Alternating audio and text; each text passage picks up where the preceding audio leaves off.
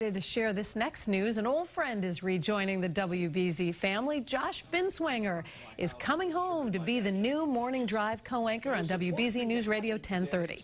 You may remember Josh and I co-anchored the evening newscast here at WBZ, and he also worked at the History Channel. Josh tells us he's excited to be coming back home. It really is an institution. It is synonymous with Boston, but it's also synonymous with the region and, known around the world for being the news beacon of Massachusetts and New England. And to be a part of a team that has always maintained and sustained a level of excellence is a privilege and a pleasure. Great guy with a great voice. Josh is going to make his debut next month. It'd be nice to see him in the newsroom. I'm so happy Congrats to Josh. Congrats to News Radio as well.